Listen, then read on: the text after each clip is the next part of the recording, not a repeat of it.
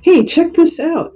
Um, this marketing tab appeared at the top of my dashboard, my bookshelf, when I'm in my back office. And guess what? Now I can take care of all of my books that are in my account.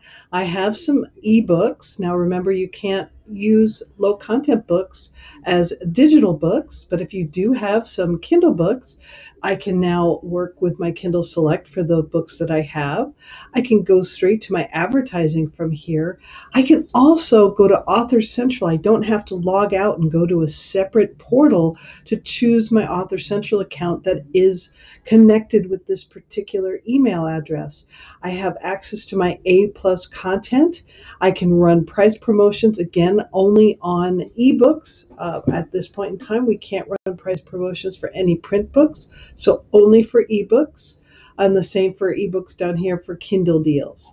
But it's so nice. I have one marketing spot. I really, I, I noticed it there, but I never clicked on it before. And as I've been working on my A plus content, and I hope you are too, um, I noticed this and I clicked on it, and it took me, and now I can work and work on projects all in one place. I don't have to log in and out, especially for the Author Central. This is so cool. This is great news. Um, I hope you take advantage of it.